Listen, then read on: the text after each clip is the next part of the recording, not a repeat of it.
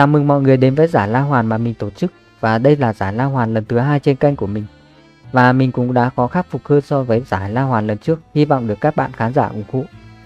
Đầu tiên mình sẽ nói về luật lệ của giải La Hoàn lần này. Ở trong giải này người chơi sẽ chia ra làm hai đội để thi đấu với nhau trong tầng 12 của La Hoàn. Mỗi đội sẽ có 3 thành viên để tham gia thi đấu. Về phòng thi đấu của từng thành viên trong đội sẽ như sau. Thành viên thứ nhất sẽ thi đấu ở nửa trên phòng 12.1 và 12.2 Thành viên thứ hai sẽ thi đấu ở nửa dưới phòng 12.1 và 12.2. Còn thành viên cuối cùng sẽ thi đấu ở cả hai nửa la hoàn của phòng 12.3. Về khâu chọn đội hình sẽ dựa vào hệ thống cấm chọn mà ban tổ chức đưa ra.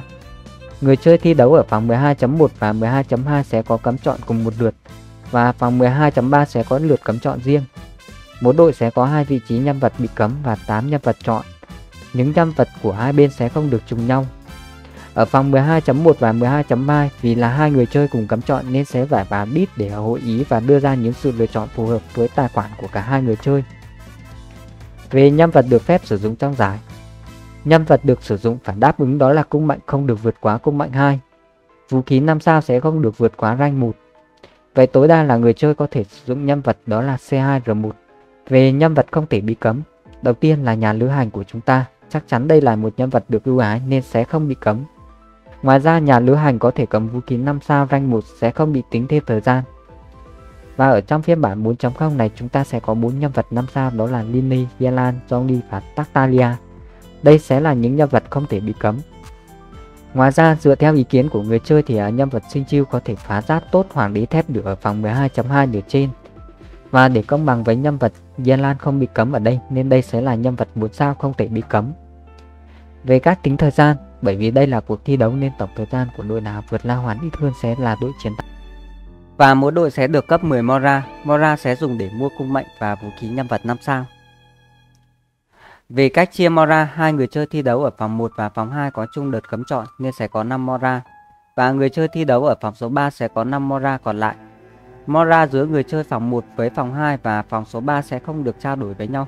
Ví dụ như phòng 1 với 2 là dùng 4 Mora và phòng số 3 là dùng 6 Mora. Lưu ý là khi sử dụng Mora để mua cung mạnh với vũ khí, người chơi cần đáp ứng đó là không được vượt quá cung mạnh được cho phép và cũng không được vượt sử dụng số lượng Mora cho phép. Có thể là tối đa là ứng một Mora để lên 6 yếu tố 5 sao. Và sau đây là sơ đồ thi đấu của giải La Hoàn lần này. Chúng ta sẽ có 6 đội thi đấu với nhau và ba đội giành chiến thắng sẽ được vào vòng bán kết. Về đội còn lại, mình sẽ lấy đội nào mà có thành tích tốt nhất trong 3 đội thua thì à, sẽ được lọt vào vòng trong.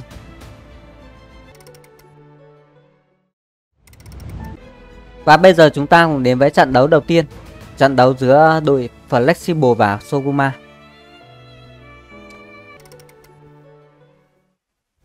Sau đây sẽ là danh sách cấm chọn của cả hai bên. Và lưu ý đây là danh sách cấm chọn của phòng 1 với phòng 2.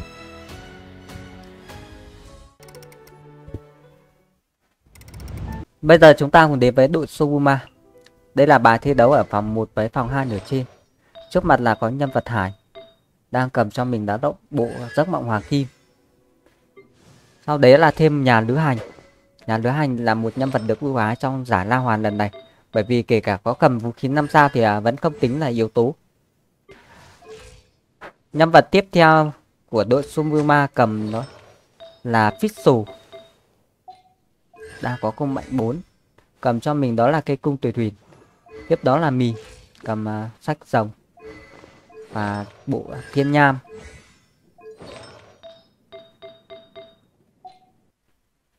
Và đây là phòng thi đấu số 1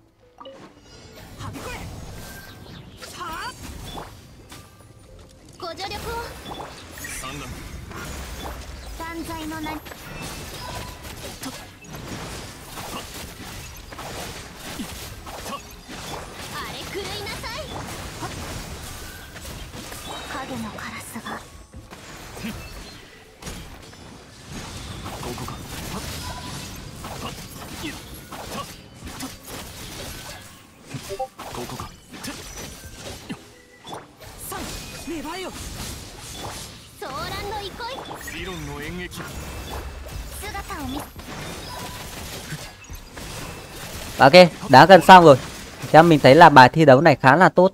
Thành tích là 45 giây, cực kỳ nhanh. Tiếp đó là phòng số 12.2, phòng số 2. Và cầm đội hình này để đánh cái con cua. Và ở đây chúng ta có nhân vật Kokomi đó là nhân vật thủy thì chắc chắn là phá sừng của cua này khá là nhanh. Đây mình đã thấy uh, cái sừng nó đã bị vỡ. Sau đấy sử dụng chích lỏ. Bây giờ là những cú chém tay của Hải thôi. Nhưng mà hết lôi của Pixel rồi.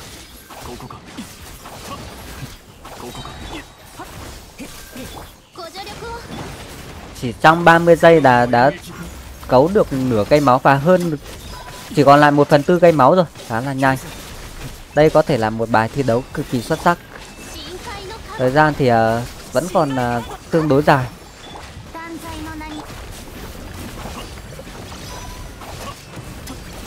và nó chỉ còn một chấm máu thôi và như vậy là hoàn thành thời gian thi đấu đó là 51 giây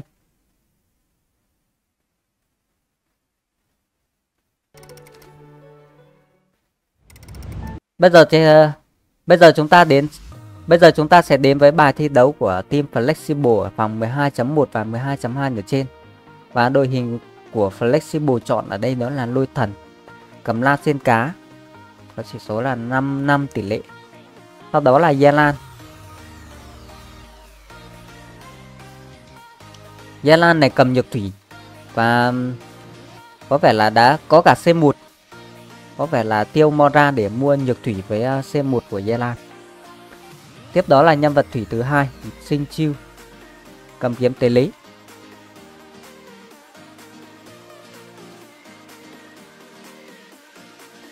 Nhân vật thứ tư trong đội hình này đó là Rosaria và quyết định là không lấy nhân vật hồi máu vào. Nhưng mà theo mình nghĩ là nếu kỹ năng của tuyển thủ tham gia thi đấu tốt thì à, ít nhất là không cần healer ở đây. Và bây giờ cùng đến với phòng thi đấu số 1 Bây giờ đang đợi Manu à, đứng lên Bây giờ có thể xả sát thương rồi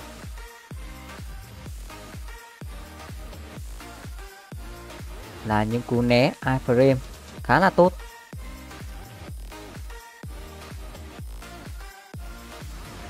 Một đòn rút kiếm của lôi thần. Bây giờ Manu mới vào trạng thái chống kiếm.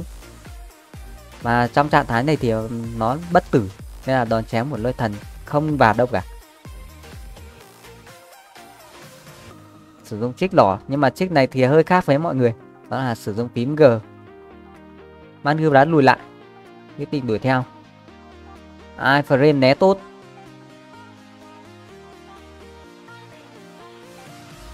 Man lùi lại thêm một lần nữa lần này thì à, chỉ cần đuổi theo và chém thêm vài đòn nữa là xong nhưng mà có vẻ là thời gian thi đấu chậm hơn so với đội hình của Soguma rồi. Tiếp tục là sử dụng một đòn chống kiếm và đã né được. Như vậy là hóa đã hoàn thành. Tổng thời gian đó là 67 giây.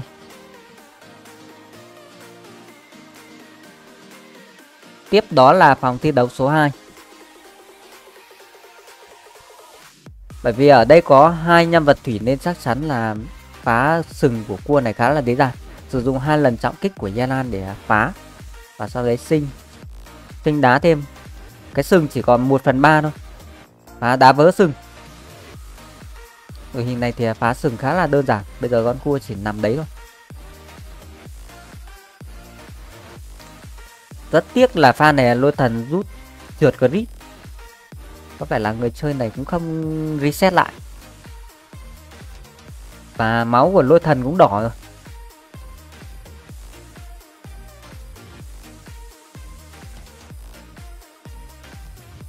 Con cua đá ngoi lên và tiếp tục là bật cho mình cái sừng trên đầu. Khi mà nó có sừng thì cái lượng kháng của nó khá là cao.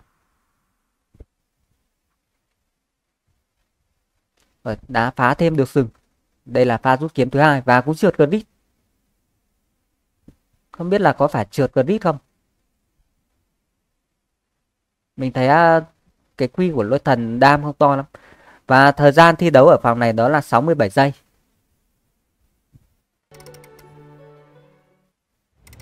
Bây giờ chúng ta cùng quay trở lại với team của Soguma ở phòng thi đấu 12.1 và 12.2 nửa dưới. và đây, nhân vật được sử dụng ở đây đó là Heizo có cung mạnh 6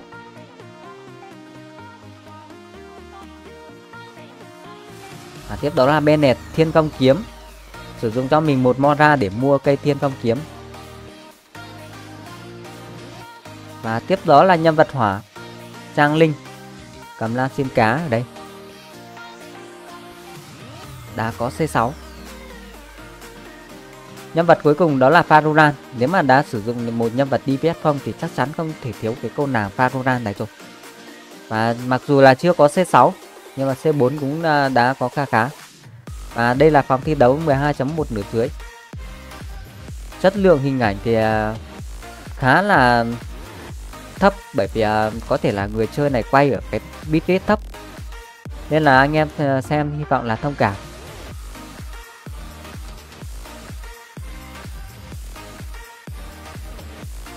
Bởi vì chất lượng hình ảnh thấp nên là mình không cũng không thấy rõ hình ảnh nên là mình cũng không biết là bình luận gì. Hy vọng là lần sau ờ, bạn này tham gia thì à, có thể là tăng bitrate lên. Bởi vì mình thấy ờ, là bạn đấy gửi à, video thì cũng tăng cái độ phân giải lên 1080 nhưng mà có thể là để bitrate thấp. Hydro này mình thấy ờ, mặc dù thấy rất là mờ nhưng mà cái con số cái lượng đam gây ra là tương đối ổn. Thấy con số quy là 55.000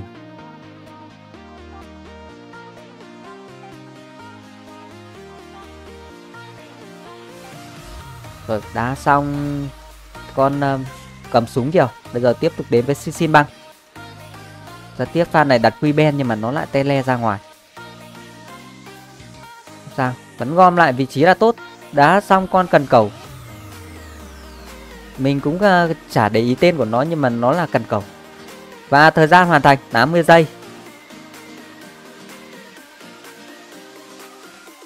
Bây giờ là phòng thi đấu số 2, phòng 12.2 nửa dưới. Ở phòng này thì khá là đơn giản bởi vì à, mình chỉ cần tập trung vào cái remind thì hai con bên cạnh nó sẽ tự gom lại, tự chạy về phía mình. Và Hezo ở đây là cực khỏe nhá.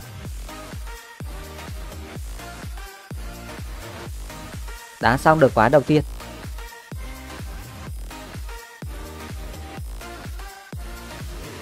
Phòng số 2 này thì đơn giản hơn bởi vì quái nó không phân tán khá là nhiều. Mình không cần phải thực hiện à, vài cái trích để gom. Mặc dù hàng hình ảnh của chúng ta không thấy rõ lắm nhưng mà mình thấy là tốc độ lia cực kỳ nhanh. Bọn này à, chỉ còn tầm 10% máu thôi. Một đá. Đã có quy sang linh xoáy nốt những pha cuối cùng. Và đấm 70k và đã hoàn thành xong phòng thi đấu này. Tổng thời gian là 61 giây.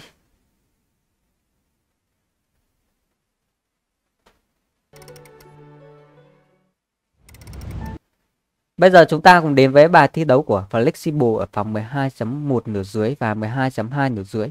Đội hình đó là gồm Sen Hương, Supro Ayaka, Ayaka này là cầm cây kiếm mới, cây kiếm rèn ở bên Fontaine và cuối cùng đó là nhân vật Mona. Và chất lượng hình ảnh của người chơi này cũng đáng nét hơn. Và chúng ta không còn thấy những hình ảnh là không phải là Full HD nữa mà bây giờ đã có Full HD rồi. Và quyết định là xả luôn mà không cần gom. Và đội hình này không có Kazuha chỉ có sụp nên là gom cái bọn bóng nước này cũng khá là khó. Và có một điều đó là khi mà cái bọn tinh linh nước đục này. Cái bọn này và trạng thái của ngũ thì uh, nó sẽ không thể đóng băng. Anh em có thể thấy uh, rất nhiều băng ở đây nhưng mà bọn này không bị đóng băng. Và hai con bên kia đã chạy lại. Và bây giờ thả phi lần thứ hai. Có vẻ là vẫn chưa xong được. Hai con kia vẫn còn khá là nhiều máu. Đã xong. Vẫn chưa xong. Và hoàn thành à, đã được hai con rồi. Bây giờ chỉ còn hai con. Và người chơi này quyết định là chạy một vòng, nhưng mà không đánh luôn. Có thể là chọn vị trí để gom. Bật sách.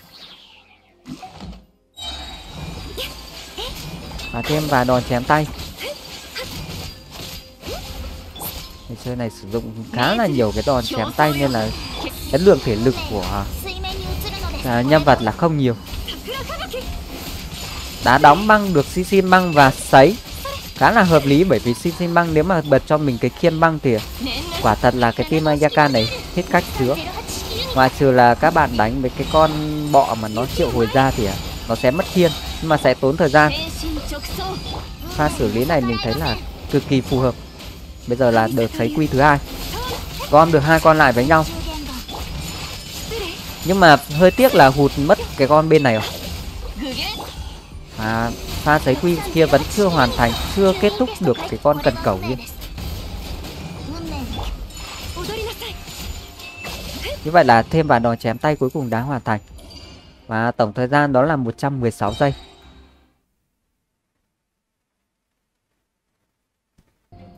Tiếp đó là phòng thi đấu số 2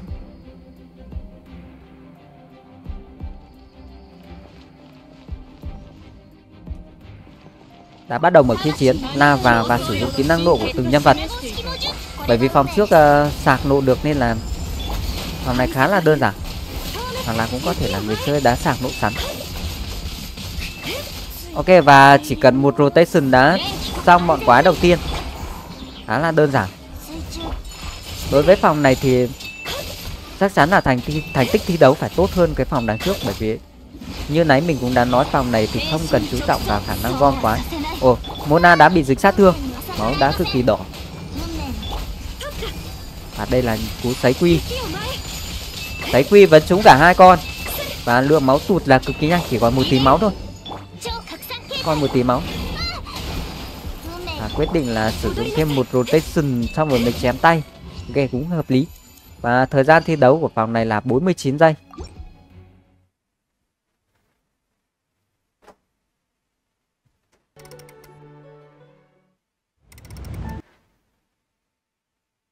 Sau đây chúng ta sẽ cùng đến với à, danh sách cấm chọn của hai người thi đấu ở vòng số 3.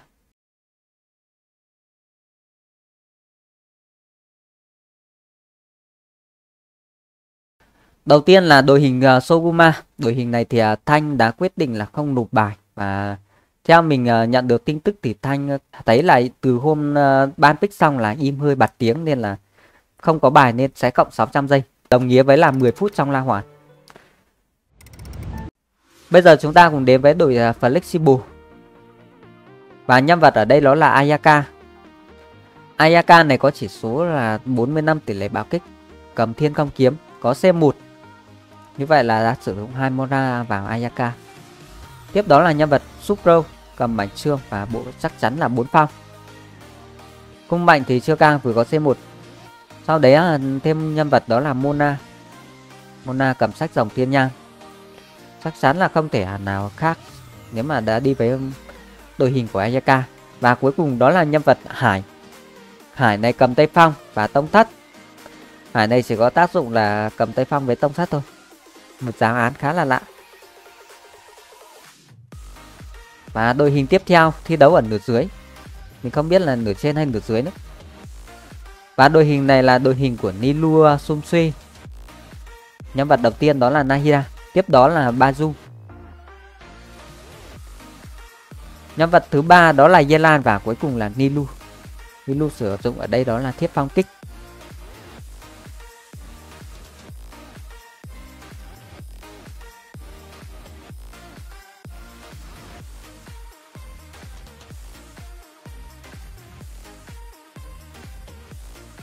Và đây là phòng thi đấu đầu tiên, vòng 12.3 nửa trên. Người chơi này có bắp khá là ngon đó là bắp tăng, tăng sát thương kỹ năng nộ. Một bắp cực kỳ phù hợp với uh, team đội hình của Anyaka. Và Hải quyết định là cho vào phòng này. Gom được lại.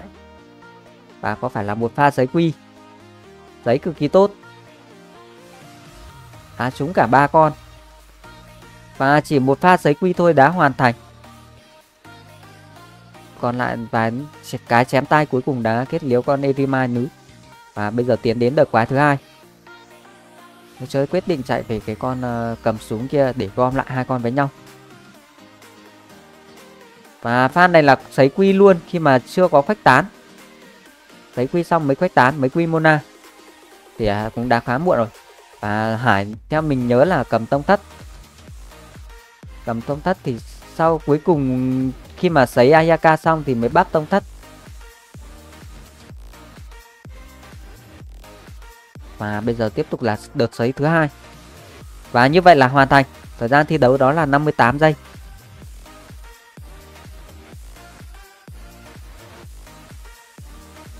Bây giờ chúng ta cùng đến với phòng 12.3 nửa dưới. Đội hình này là đội hình Nilu Sunse Và ở đây uh, không có một nhân vật hệ lôi hay là hệ hỏa nào để phá cái khiên băng của con băng này.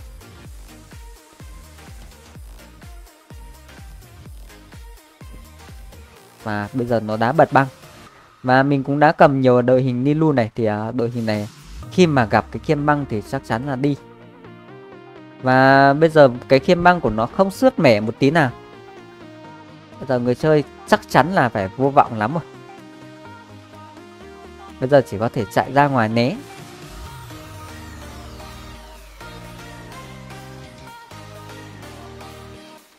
Và vẫn là những cú, gọi là, chạy né và nạp lại. Chứ mà cái khiên băng của nó thì không sứt mẻ thế nào. Nhưng mà sau khi mà, sau ba đợt mà cái con này bật khiên băng thì à, nó sẽ tự mất cái khiên băng đi. Và lúc đấy là mình có thể dồn sát thôi. đây, nó đã mất cái khiên nhưng mà chắc chắn là thời gian thi đấu thì không ủng vụ.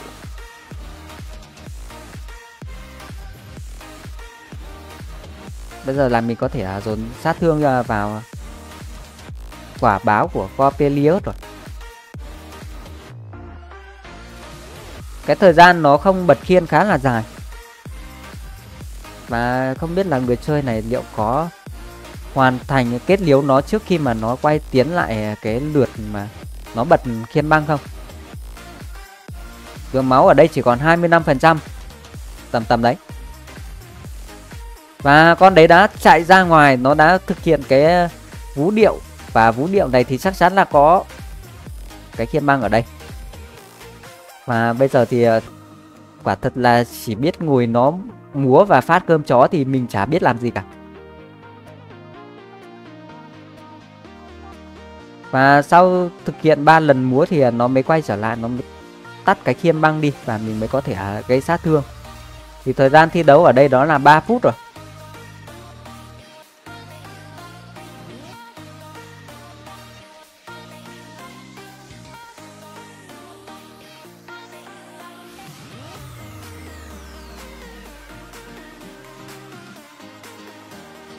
Bây giờ thì à, đá mất khiên băng Tiếp tục là dồn sát thương thôi. Dồn tháp sát thương và kết liễu nó. Đâu rồi. Như vậy là hoàn thành. Và chắc chắn là không được 3 sao rồi. Tổng thời gian thi đấu đó là 150 giây.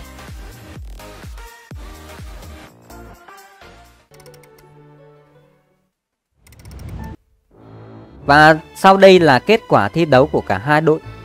Và tổng thời gian của đội Flexible là 507 giây. Và đội Suguma tuy là có hai người chơi đầu tiên là thi đấu cực kỳ tốt.